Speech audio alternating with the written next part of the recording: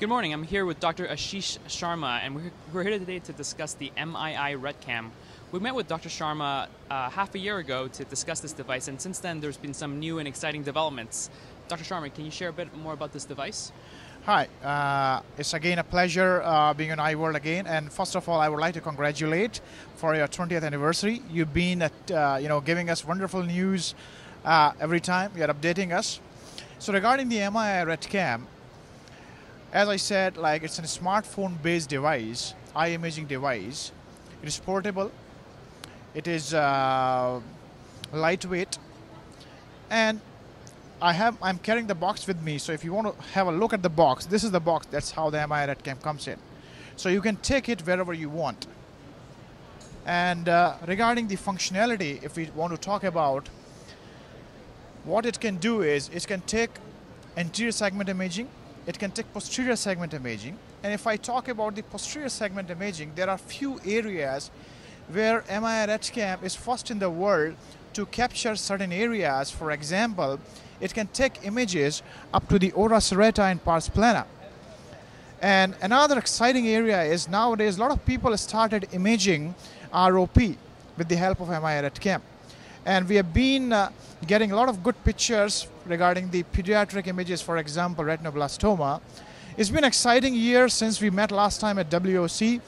Uh, that was a time when the device was about to come commercially, and I'm uh, really happy to share that right now the device is being used in 14 countries apart from India, from where I belong. And uh, we've been getting these images, wonderful images from across the globe.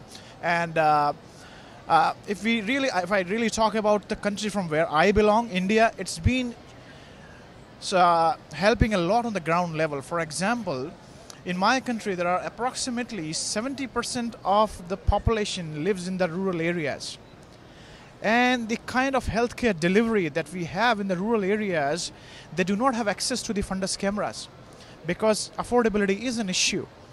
So since the availability of MII RetCam is there, a lot of people from these areas they started using in and with the help of our application, which is available on both App Store and the Google Play Store, they are able to transmit these images and they are able to take the consultations from the specialist. So that's where you know it has started making difference. So, but the use is not limited to the rural areas itself. If you talk about the urban areas in the high-end centers, institution, institutions, the main development that we have seen is our residents, they love it.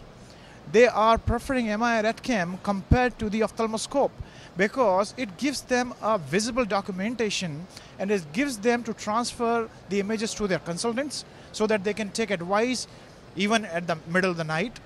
So it's been really, really exciting. Uh, it's been helping a lot at the ground level uh, across the globe. So, Dr. Sharma, it sounds like this device um, has a very broad application ranging from teaching to uh, teleophthalmology potentially and helping improve healthcare delivery, especially in rural areas, like you mentioned.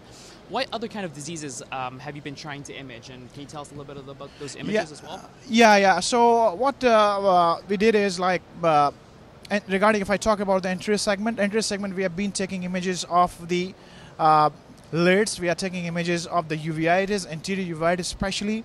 In the posterior segment, if you start from the central retinal imaging, for example, CSR, DME, DR, and in the periphery, now the way it's helping previously whenever, because we have a good refractive setup here at my place.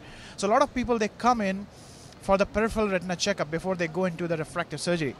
So regularly the practice goes in that you you know, you tell patient you have some hole, you have some lattice, I need to do some kind of laser before it, but you had no evidence. But nowadays, whenever patients were coming to us, we were showing them that, okay, that's the hole that you have, and this is the lattice that you have, these are some of the weak areas, we want to treat it before, so they gain a lot of confidence. So they are ready to get procedure done.